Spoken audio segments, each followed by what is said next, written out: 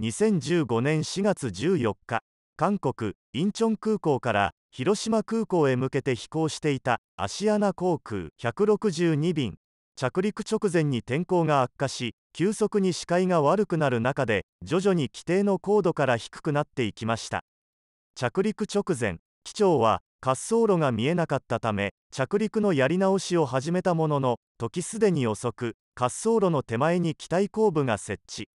設置されていたアンテナを破壊し滑走路脇の草地に停止しました。なぜ事故は起こったのでしょうか。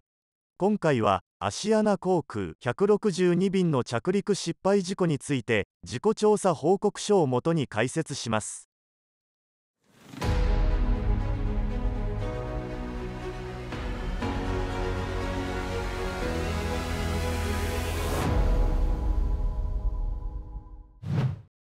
本動画は公式もしくは信頼できる情報をもとに制作していますが誤りがございましたらコメントにてお知らせいただけますと幸いです。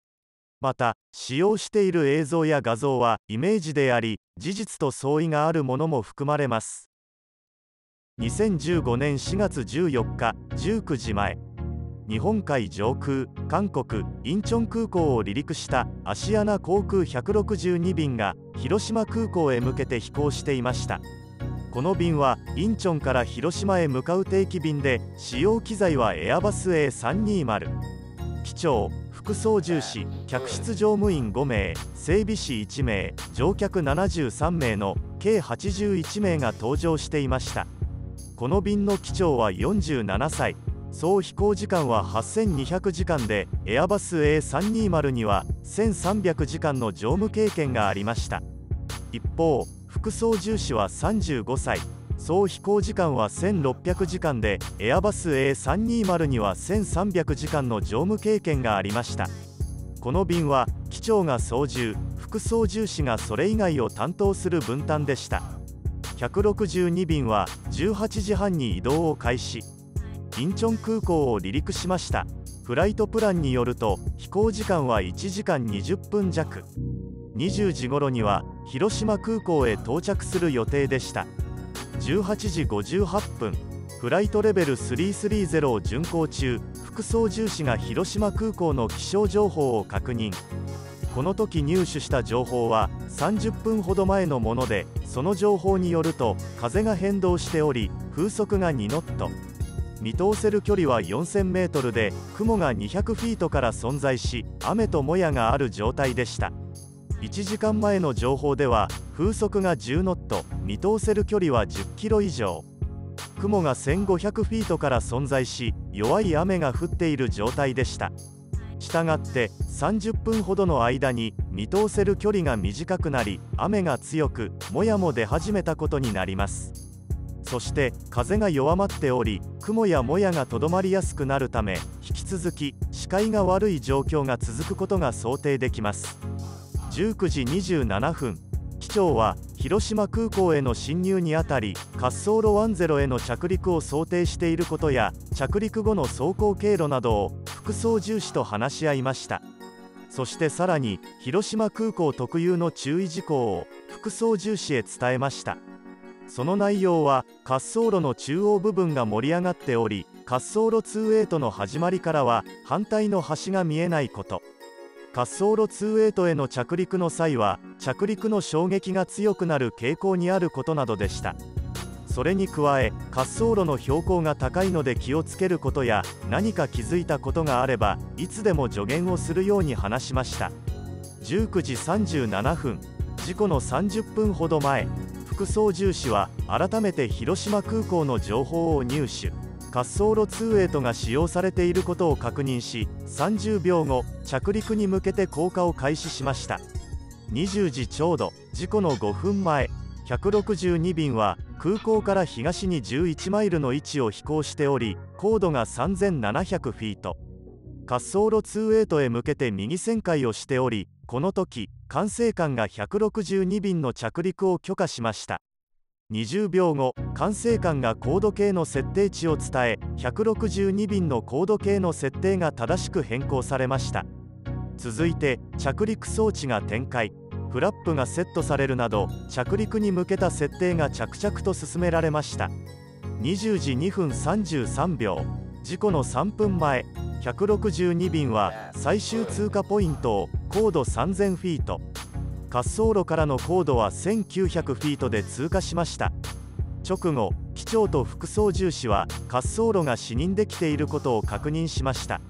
しかしその30秒後状況が急変します。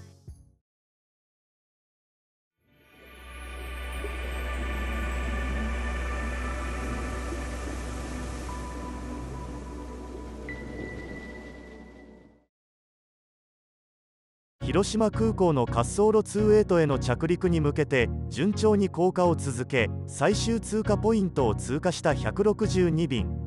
その30秒後事故の2分半前滑走路の一部が霧で覆われ始めました。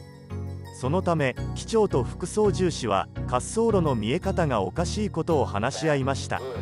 この時管制官が162便へ最新の気象情報を伝えました。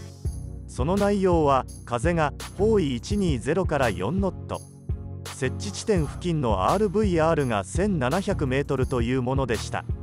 RVR とはランウェイビジュアルレンジ。日本語では滑走路視距離と呼ばれ滑走路上の見通し距離を示した数値です。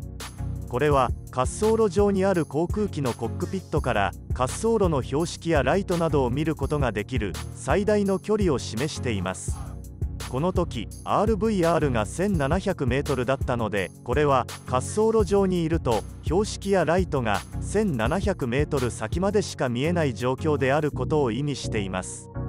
管制官からの連絡の後無線のスイッチが押されたような音がボイスレコーダーに記録されています。そしてすぐに RVR が 1400m にまで低下しました。20時3分55秒事故の1分前162便は高度2100フィート。滑走路からの高度は1000フィートまで降下し機長がオートパイロットをオフにしました。この直後 RVR が 1300m となり30秒前と比べると 100m 低下していました。この時副操縦士が地上から1000フィートとコールし機長は安定していると応じました。20秒後副操縦士は雲が微妙に立ち込めている旨を話しましたが機長はとりあえず滑走路が見えているので行ってみますと応じています。しかし手動操縦に切り替え後162便は標準の降下パスから徐々に低い高度を飛行し始めました。そして管制塔では RVR が 1200m 以下に低下したことを示す警報が作動しました。この時の滑走路28の RVR は 550m となっており1分弱で 1000m 以上も低下。視界が急激に悪くなっていました。20時4分35秒。事故の40秒前。着陸をするか決める高度まで100フィートであることを示す自動音声が作動。副操縦士も繰り返し機長は確認したと応じました。4秒後副操縦士が滑走路が見えていたのに見えなくなったと発言。この時着陸やり直しを判断する高度に到達したことを示す自動音声が作動。副操縦士も繰り返し機長は侵入継続と応じました。続けて副操縦士が滑走路が見えないと発言。機長はちょっと待ってと答えました。この時の RVR はさらに悪化しており 450m を記録しています。20時5分11秒。事故の1秒前。機長が滑走路が見えない。ゴーアラウンドと発言。副操縦士もゴーアラウンドと応じサイドスティックが機種上げ方向へ最大に操作され推力も最大にセットされました。1秒後地上から40フィートを示す自動音声が作動すると同時に機種が上がりつつ降下率がほぼゼロまで減少。しかし直後に滑走路手前のアンテナへ衝突。エンジンがアンテナの部品を吸い込み推力が失われました。続いて機体は滑走路をバウンドし左へ逸脱。滑走路脇の草地で停止しました。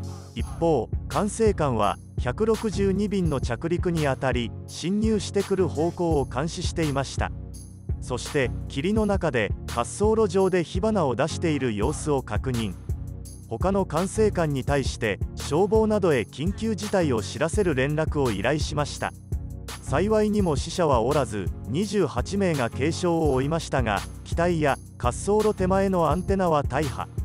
この影響により広島空港の景気侵入が一定期間制限される事態となりました。なぜ事故は起こったのでしょうか？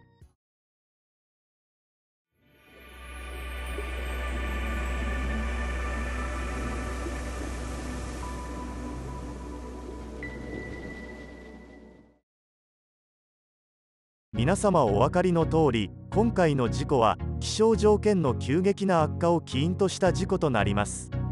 どの点が事故につながったのか改めて振り返ってみます。まず機長は巡航中広島空港では雨が降っており見通せる距離が 4000m であることを認識。降下中に想定していた滑走路とは逆の 2way を使用することを確認しました。ここまでは特に問題はありません。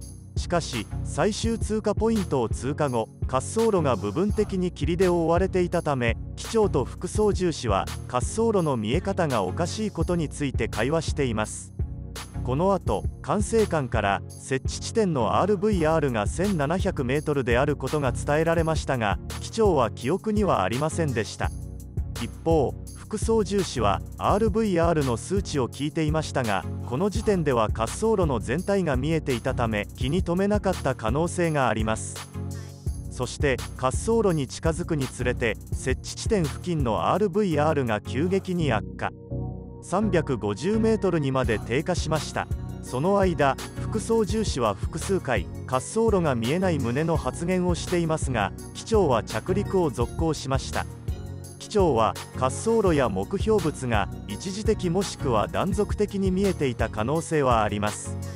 しかし規定の降下パスから低くなっても全く修正をしなかったことから少なくとも継続して滑走路を視認できていなかったと考えられます。そして副操縦士の滑走路が視認できないという懸念に対して機長がちょっと待つように言ったことで副操縦士はそれ以上の懸念は言えませんでした。さらに事故直前には機長から電波高度計を確認するように指示され戸惑いながらも電波高度に意識が向いてしまいました。本来であれば副操縦士は安全な運航を確保するために直ちに着陸をやり直すべきでした。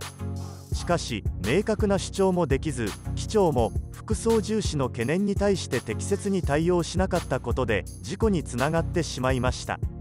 また直接の原因とはされていませんが事故調査報告書は管制官の対応についても指摘しています。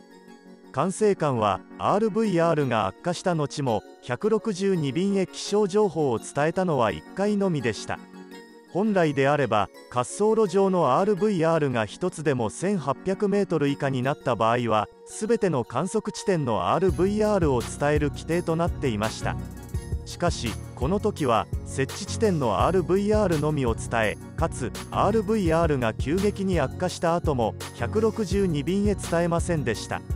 これらの調査結果を受けてアシアナ航空は再発防止策として同じような状況での状況把握能力の向上を目的としたシミュレーターの追加訓練や審査の実施。機長と副操縦士が効果的な役割を果たすような教育の徹底などを行うことにしました。また国土交通省は管制官がパイロットに対して RVR を伝える規定の改正など改善検討を進めるとしました。調査を経ても機長が着陸の続行を決めた理由は明確にはなりませんでした。